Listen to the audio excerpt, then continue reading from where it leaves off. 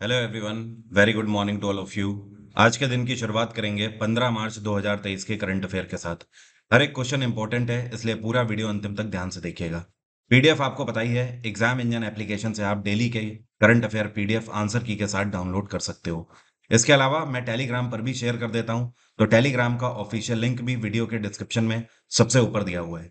अब चलिए शुरुआत करते हैं आज के करंट अफेयर की, लेकिन सबसे पहले बात करेंगे कल जो मैंने आपसे सवाल पूछा था, मेरा कल आपसे सवाल ये था कि इनमें से ये कौन सा देश है जिसकी ऑफिशियल लैंग्वेज सिंगली है? इसको बोला सिंगली जाता है, लेकिन लिखा जाता है Sinhala S I N H A L A तो जिन लोगों ने भी आंसर दिया है, श्रीलंका, उन सभी का आंसर सही है।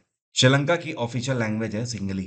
इसके अलावा श्रीलंका का नेशनल गेम है वॉलीबॉल और इस टाइम पे यहाँ पे राष्ट्रपति हैं रेनिल विक्रम सिंघे श्रीलंका के प्रधानमंत्री कौन है? तो ध्यान रखिएगा, कुछ ही महीनों पहले दिनेश गुणवर्धने को यहाँ का नया प्रधानमंत्री बनाया गया था। बाकी मंगोलिया की कैपिटल है उलान बतर, थाईलैंड की कैपिटल है बैंकॉक, सिंगापुर की सिंगापुर सिटी और म्यांमार की कैपिटल है नेपिडे। अब आज के करंट अफेयर शुरू करते हैं। पहली न्यूज़ है आज की कि पहली बार ऐसा हुआ है कि एक साथ भारत ने इतिहास रच दिया है दो चीज़ों में ऑस्कर जीतकर। तो एक तो डॉक्यूमेंट्री शॉर्ट है जिसका नाम है द एलिफेंट विस्पर्स। और दूसरा, ये कौन सी मूवी का गाना है जिसको ऑस्कर अवार्ड से सम्मानित किया गया है?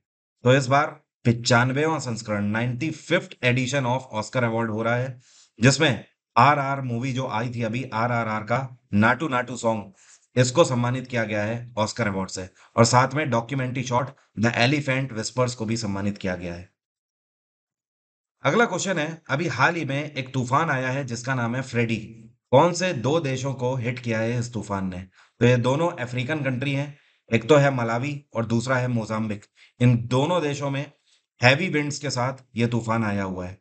अगर आप अफ्रीका का ये मैप देखो तो यहाँ पर आपको दिखाई देगा, इन दोनों देशों की कोस्टल लाइन है और ये जो येल्लो वाले यहाँ पर आपको दिखाई दे रहे हैं, ये है मोजाम्बिक और ये है आपका साथ में मलावी और इसके साथ में ये जो लगा हुआ आपको आइलैंड कंट्री दिखाई दे रहा है, इसको बोलते हैं मेडागास्कर अफ्रीका के कुछ इंटरेस्टिंग फैक्ट के अगर बारे में बात करें तो जैसे आपको पता होना चाहिए, अफ्रीका का सबसे बड़ा देश ये आमतौर पर सबको पता होता है, अल्जीरिया, जिसकी कैपिटल है अल्जीरियस लेकिन अगर आपसे कभी पूछ दिया जाए कि which one is the largest island country of Africa मतलब अफ्रीका का सबसे बड़ा आइलैंड कंट्री कौन सा है? आइलैंड कंट्री का मतलब चारों तरफ़ पानी से घिरा हुआ तो ये है मेडागास्कर ओके अब अगर आप भारत से देखोगे तो वर्ल्ड मैप में आपको भारत इधर दिखाई देगा तो साउथ वेस्ट की तरफ़ जब आप जाओगे तो इधर आपको मेडागास्कर दिखाई देगा।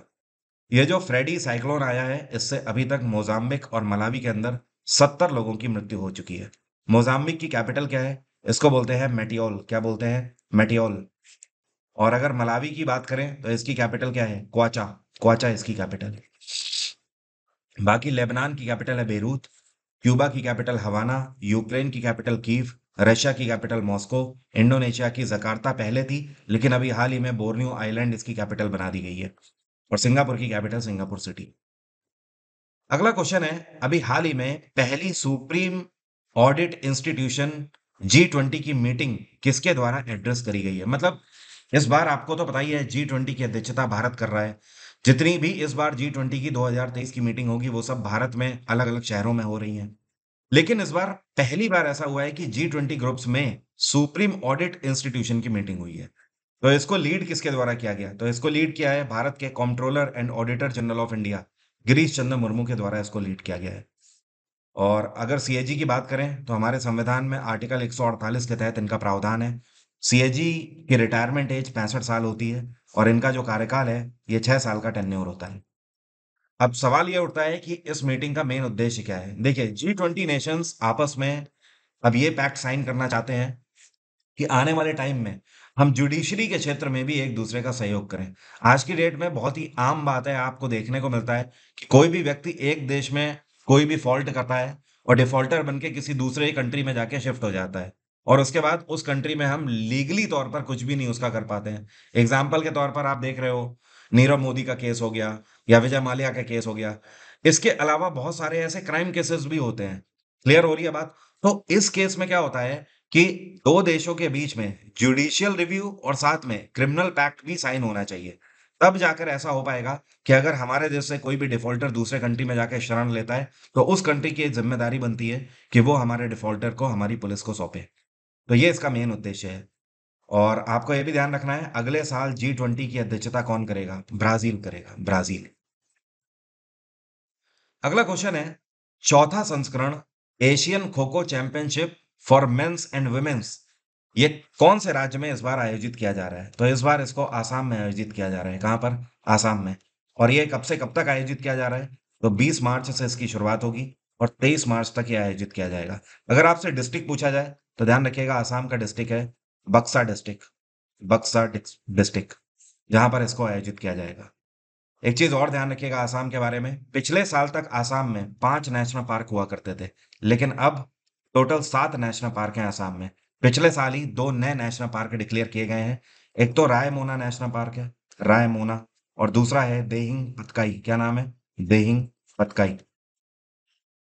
आसाम में इस टाइम पे हिमांता बिस्वा शर्मा की सरकार है और यहाँ पे गवर्नर है डॉक्टर जगदीश मुखी। अच्छा गवर्नर के लिए आर्टिकल कितना है हमारे कॉन्स्टिट्यूशन में?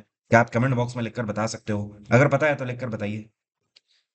अगला क्वेश्चन है ये कौन-सी राज्य सरकार है जिसने अभी हाल ही में फैसला लिया है कि राज्य के अंदर ऐसे लोग जिन्होंने राज्य के लिए उत्कृष्ट कार्य किया हो, चाहे वो किसी भी क्षेत्र में हो, जैसे कि सोशल वेलफेयर के क्षेत्र में हो गया या एजुकेशन के लिए या फिर इकोनॉमी को बचाने के लिए या फिर इकोसिस्टम को बचाने के लिए, किसी भी क्षेत्र में उत्कृष्ट कार्य किया हो, तो ऐसे लोगों को स्टेट गवर्नमेंट जॉब्स में 10% का आरक्षण ये सरकार देगी। तो ये है उत्तराखंड में पुष्कर धामी सरकार। पुष्कर धामी सरकार ने अभी हाल ही में अपनी विधानसभा में रेज़ोल्यूशन पास कर दिया है कि ऐसे लोगों को राज्य की जो सरकारी नौकरियाँ हैं, उसमें फ्लैट 10% का डिस्काउंट दिया जाएगा। और मध्य प्रदेश में शिवराज सिंह चौहान की सरकार है। यहाँ पर बीजेपी की सरकार है। महाराष्ट्र में पिछले साल ही एक नाथ जी शिंदे की सरकार आई है। राजस्थान में कांग्रेस की सरकार है। यहाँ पे मुख्यमंत्री हैं अशोक गहलोत।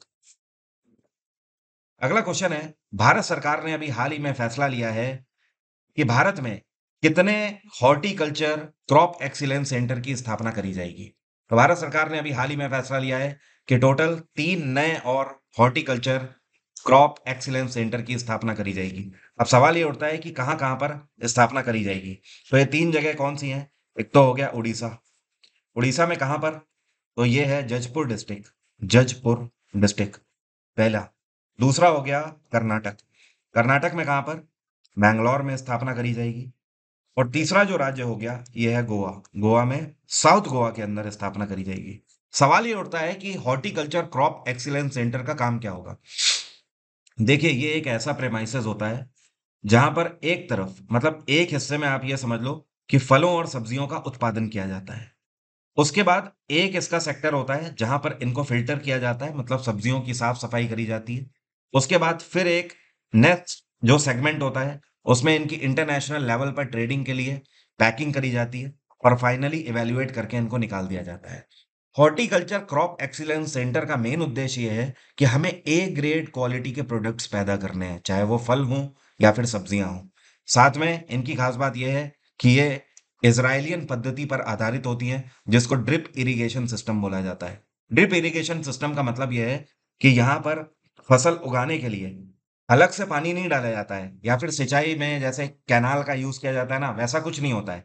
इसमें इस तरीके से हर एक रो में एक पाइप बिछाया जाता है पानी का और इनमें छेद होते हैं बीच में। इन छिद्रों से पानी बूंद बूंद करके टपकता रहता है।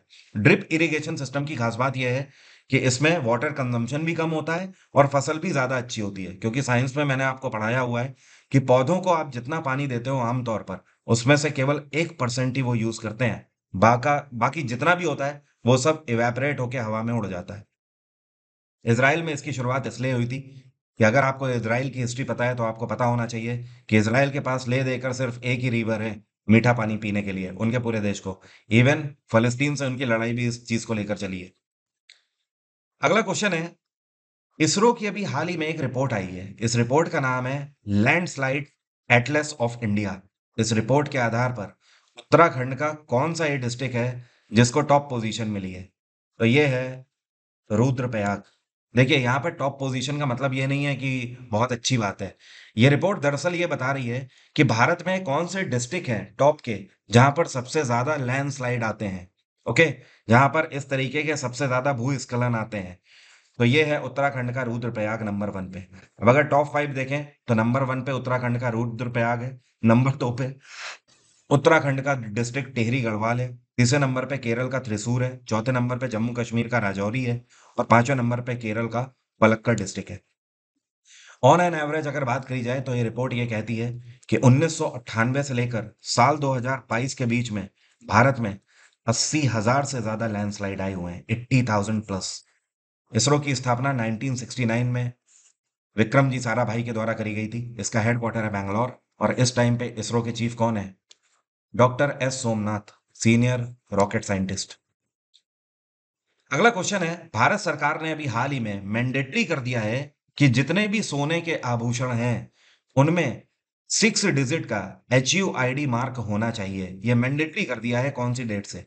तो सरकार का इस पर फैसला आया है कि आने वाले एक अप्रैल 2023 से मार्केट में जितनी भी ज्वेलरी होगी, उस पर सिक्स डिजिट का H U I D mark होना चाहिए, जो कि अपने आप में उस गोल्ड ज्वेलरी को एक आइडेंटिफिकेशन नंबर देता है। या आप बोल सकते हो unique hall marking identification number देता है। दरअसल जब आप ज्वेलरी देखोगे तो आपको इस तरीके के तीन मार्क दिखाई देंगे। एक ये वाला मार्क तो आपका जाना पहचाना है। ये आपका बी आई एस लोगो होता है, जो कि स्टैंडर्ड बताता है गोल्ड का। इसके बाद ये वाला जो मार्क है, ये आपको बताता है प्योरिटी ऑफ़ गोल्ड के बारे में कि गोल्ड कितने कैरेट का है, चौबीस का है। देखो चौबीस में तो ज्वेलरी बनती नहीं है, वो तो प्योरेस्ट फॉर्म हो जाता है। बाईस का है, अठारह का है या सोलह का है वॉट और उसके बाद ये जो लास्ट में है सिक्स डिजिट ये बताएँगे यूनिक सीरियल कोड के बारे में। अगला क्वेश्चन है, अभी हाल ही में एक प्रोग्राम शुरू किया गया है, जिसका नाम है बेगर फ्री सिटी मतलब भिकारियों से मुक्त शहर। यह प्रोग्राम कौन से शहर में चलाया गया है? तो इसको चलाया गया है नागपुर के अंदर। नागपुर की म्यूनिसिपल कॉरपोरेशन मतलब नगर निगम और पुलिस मिलकर इस प्रोग्राम को चला रही है। इसके तहत बैगर्स से जुड़ी हुई जितनी भी समस्याएँ हैं, उन सभी को सुना जाएगा और सिटी को बैगर्स फ्री बनाया जाएगा। डायरेक्टली अगर देखा जाए तो इसके लिए एक पोर्टल भी लॉन्च किया जा रहा है। इस पोर्टल के तहत आप कंप्लेन कर सकते हो आपके घर के आसपास या आप जिस भी कॉमर्शियल एरिया में हो, वहाँ पर अगर आप समूह देखते हो भिखारियों का तो आप वहाँ पर उनके लिए अगर कुछ सस्पिशियस देखते हो या अगर कुछ उन्हें ज़रूरत है तो दोनों ही सेगमेंट में आप फीडबैक दे सकते हो। यहाँ पर सिर्फ़ और सिर्फ़ बैगर्स की मदद की बात नहीं करी जा रही है। यहाँ पर सिक्योरिटी की भी बात करी जा रही है। जहाँ पर मदद की बात आएगी, वहाँ पर नागपुर की म्यूनिसिपल कॉरपोरेशन फैसला लेगी। और जहाँ पर कुछ सस्पिशियस दिखता है बैगर्स में कि ये व्यक्ति कहीं और से आया हुआ है या कुछ भी, कुछ गलत कर रहा है सोसाइटी के अंदर तो ऐसे केस में नागपुर पुलिस एक्शन में आ जाएगी। अगला क्वेश्चन है, अभी हाल ही में 2023 के विमेन्स वर्ल्ड बॉक्सिंग चैंपियनशिप के लिए ब्रांड एम्बेसडर के रूप में किसको नामित किया गया है? तो दरअसल इस बार दो लोग नामित किए गए हैं। एक तो एमसी मैरी कॉम करी गई हैं। एमसी मैरी कॉम भारत ही नहीं, पूरे दुनिया में इन्होंने बॉक्सिंग सेक्टर में लोहा मनवाया अपना। और एमसी मैरीकॉम अभी कुछ टाइम पहले प्यूमा की भी ब्रांड एम्बेसडर बनाई गई थी। तो एमसी मैरीकॉम और इनके साथ में फरहान अख्तर, इन दोनों को ब्रांड एम्बेसडर नियुक्त किया गया है। विमेन्स वर्ल्ड बॉक्सिंग चैंपियन 2023 का। और इस बार जो ये बॉक्सिंग चैंपियनशिप हो रही है, ये कब से शुरुआत हो रही है? इसकी शुरुआत आज से ही हो रही है मतलब पंद्रह मार्च से। ये कब तक चलेगी? छब्बीस मार्च तक चलेगी। कहाँ पर हो रही है चैंपियनशिप नई दिल्ली में इसका आयोजन किया जा रहा है। अब मेरा आज का सवाल आपसे आप में से कितने लोग बता सकते हैं इंटरनेशनल एटॉमिक एनर्जी एजेंसी का हेडक्वार्टर क्या है? New York New Delhi Geneva Paris या वेना पता है तो कमेंट बॉक्स में जल्दी से लिखकर बताइए। एग्ज़ाम इंजन पर यह बैच स्टार्ट होने के लिए सिर्फ़ 24 घंटे बचे हुए हैं। 16 तारीख, कल से ये बैच स्टार्ट हो रहा है। अब यहाँ पर तीन नहीं, सिर्फ़ एक दिन बचा हुआ है। तो आप हिस्ट्री और पॉलिटी के लिए इस बैच को ज्वाइन कर सकते हो। 2023 का कोई भी एग्ज़ाम हो, हिस्ट्री, पॉलिटी का वेटेज आपको पता ही है। इवन आप यूपी पीसीएस का भी एग्ज़ाम देने जा रहे हैं तो आप इस बैच में खुद को एनरोल कर सकते हो। और 16 मार्च को, कल मेरा बर्थडे है तो उस दिन मैं पहले भी आपको बता चुका हूँ, बहुत बड़ा सरप्राइज़ आपके लिए लेकर आ रहा हूँ। इसके लिए यूट्यूब पर जुड़ना मेरे साथ मत भूलिएगा। आज की बात यहीं तक रहेगी। Thank you so much have a nice day take care bye आपका दिन मंगलमय हो।